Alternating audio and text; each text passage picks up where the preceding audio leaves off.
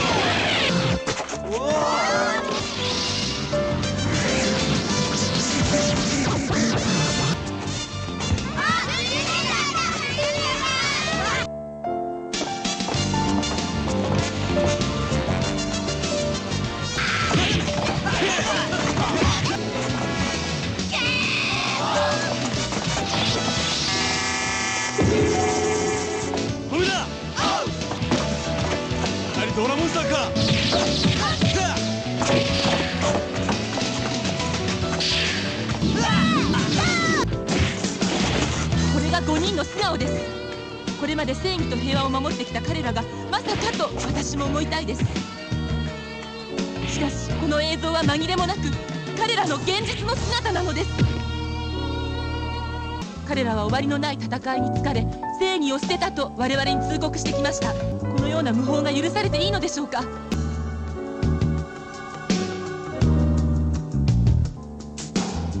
まずその VTR をご覧ください。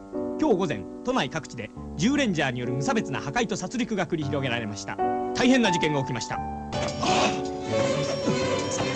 これは。誤解です。偽物なんです。助けてください。殺される。決定的瞬間よ。しっかりとってね。やめろ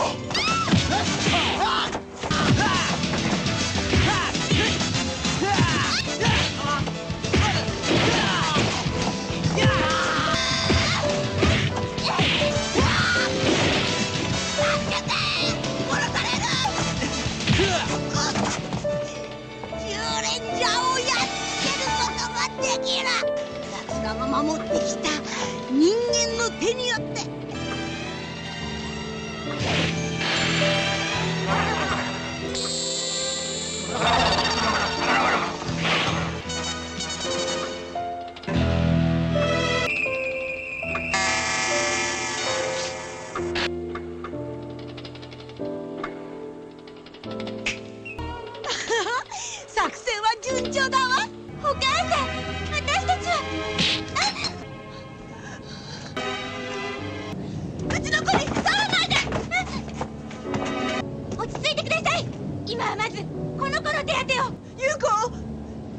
っていうの？あなたたちジューレンジャーね？また俺たちの偽物の仕業だ。優子ひどい傷。早く。どうしたの？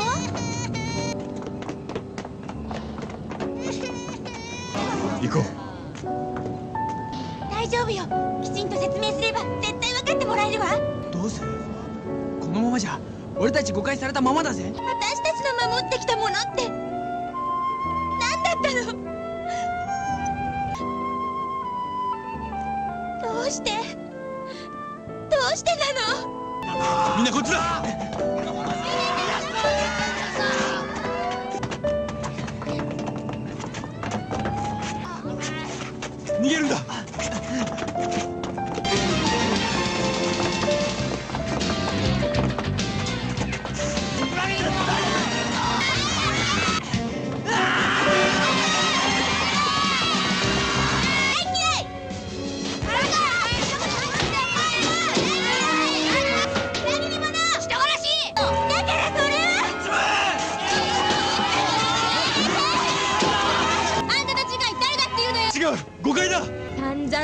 々正義の味方ずらして。逃げたぞジューレンジャー一緒にお祝いしてくれないかしら。そうだわ。ねえみんな。今日私の誕生日なの。ジューレンジャーャーによる被害は各地で続いております。警察庁の発表によりますと重軽傷者合わせて64名に上り関係当局で対応に苦慮しております思い出しちゃってね。孫たちのこと。いえ。少し。変なおばあさんで驚いたでしょ。初めて会ったっていうのに。一緒に入ってくれだなんて。ごめんねめいちゃん。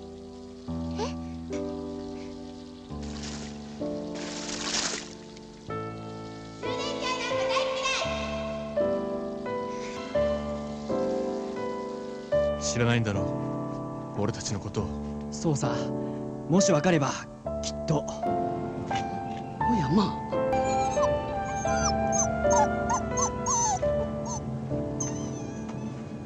私ちょちょっとトイレ私は目の前の本当のことを信じるわ。おばあちそのキラキラした目を見れば悪い人じゃないことぐらいわかりますよ。ゃん知ってたの？ちのこと。なんかいいな。こういうのって。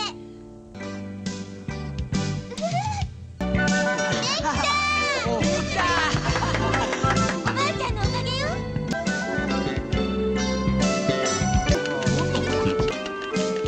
なんだよこんなに分厚くなんでなんでなんで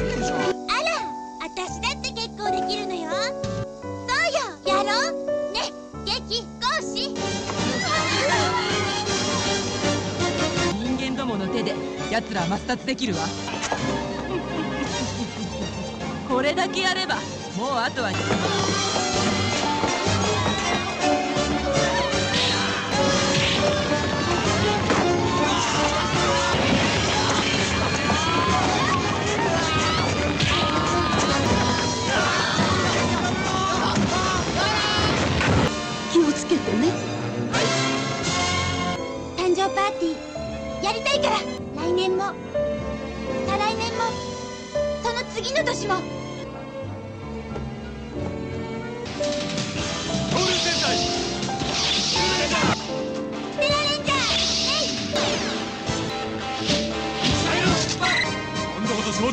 るぞ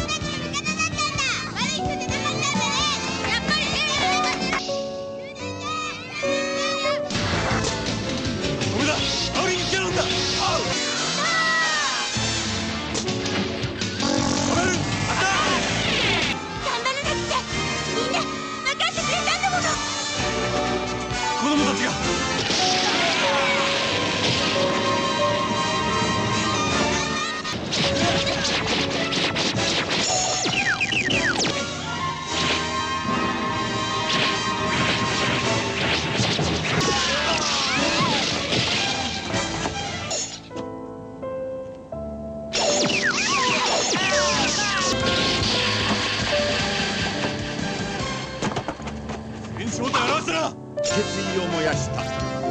バンドーラを倒さなければ本当の平和は来ない。頼むぞ10レンジャー。今回の動画では10レンジャーの偽物プチフロ会を紹介しました。10レンジャーの偽物が市民を攻撃しましたダークヒロインのラミーはリポーターに変装し10レンジャーに悪いイメージを植え付けました。10レンジャーは偶然で会ったおばあさんにかくまってもらいました。プチフロシーンではプテラレンジャーがそのおばあさんと一緒に狭いお風呂に入っていました。おそらく10レンジャーには水着シーンは存在しないようです。もし私が見逃していましたら教えていただけると助かります。以上ご視聴ありがとうございました。